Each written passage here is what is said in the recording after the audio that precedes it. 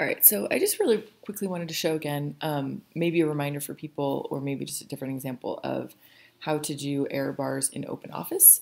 Um, and this is the free version that you can download. Um, in Excel, it's very, very similar. Um, so just, I'm actually going to show you two examples. So um, this was the, in case you didn't, here's our population fish pond. Um, and basically I've got, here's my independent variable, my five values of relative fitness, and then my five trials, my average, and my standard deviation, which I've just calculated um, selecting those points. Here's my average. Um, okay, so to put in a chart, you can either select the, so I'm just going to select the heading 2, um, and my average, that's what I want to plot. And you can just stick in this chart and you probably want to do a scatter plot. Um, and that is pretty much what I want. I don't need this here. Um, if you want to put in, actually you should put in titles. Um, most of the things you can get to just by right clicking.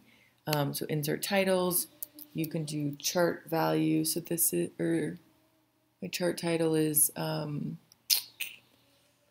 R allele frequency after 50 generations um, for different fitness levels of our genotype. Um, and then this is really important. If you have error bars, you're going to put error bars in, you want to say what those represent in your title.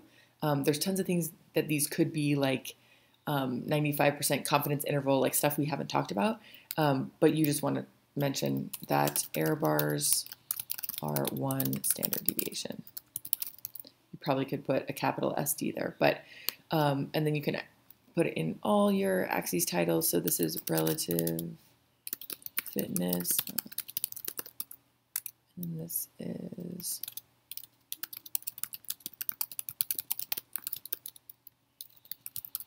all right. But the part that you actually care about is error bars. Um, and this is pretty easy. So you just want to, you can click on a data point, um, and right click and put in insert Y error bars. You might also be able to do this somewhere else. But um, so here's the trick. You don't want to select standard deviation. Um, to be honest, I don't even know what that is, but um, like how they calculate that. But what you want to do is say that you're going to select the cells that have the standard deviation value for each point. Um, and in this case, you know, standard deviation, we're going to go one up from the average, one down from the average. So we can actually put same value for both. And in a second, I might show you how to do the range. Um, so you can either click on this, um, you can either select your points, but I'm going to go to this. It takes you to select the data range. And I'm going to say that these are my standard deviation values. So that I want this standard deviation value to be for this point, this one for this point. Um, and clicking same value for both just saves you having to select them twice. Um, and you're probably going to have a positive and a negative error bar. So we're going to click on this. Um, it's always a good idea to just check your error bars.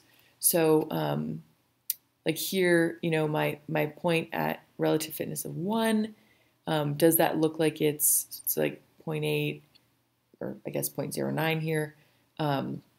So you want to make sure that these make sense. And actually, yeah, most of the other ones are about the same. So that one's going to be the one that um, that tells us that we're doing this right.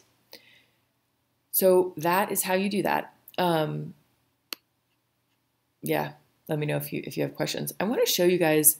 Um, so standard deviation you can really only use if you have five repeated values. It's just considered to be not very not valid if you have fewer than that. Um, so whatever for if for whatever reason you don't have five values. So let's say you just you were doing something in class and you had three values. Um, you can't do the standard deviation. You have to do the range. And so here I'm going to put.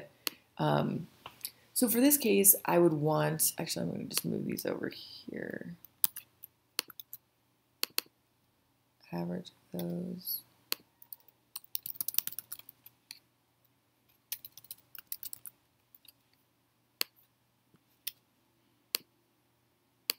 All right, so in this case, I want to know how high is So I want to go from the average to the highest data, data point that I have, and then from the average to the lowest data point that I have. Um, so I like to just make a column that's my upper error bar and my lower error bar.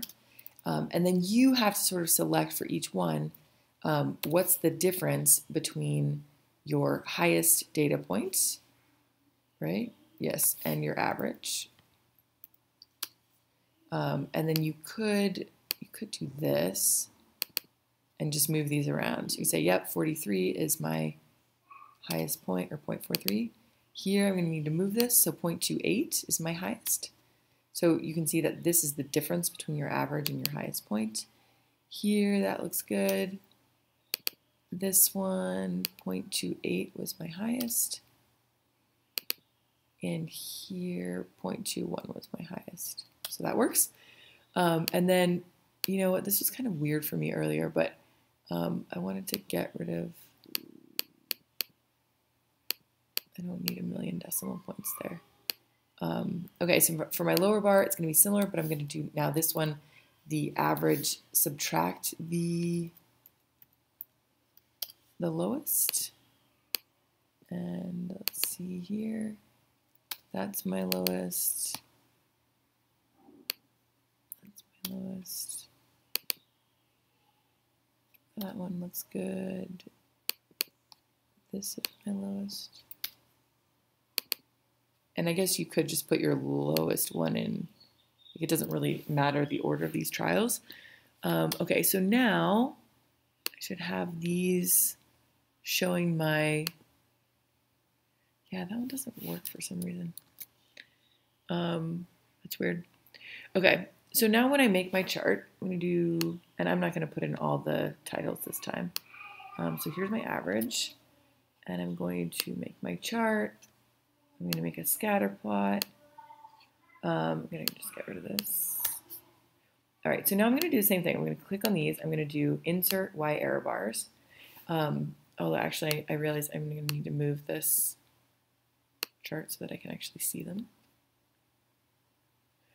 Okay, so when I insert Y error bars, um, I'm again not going to do standard deviation. I'm going to do cell range. And now I'm going to say for my positive error bar, which I called upper, but whatever.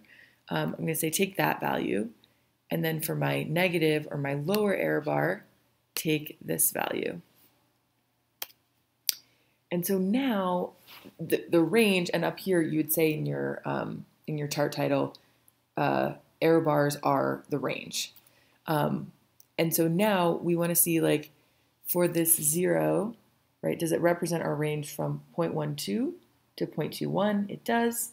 For 0.2, our lowest one is 0.1 to 0.28.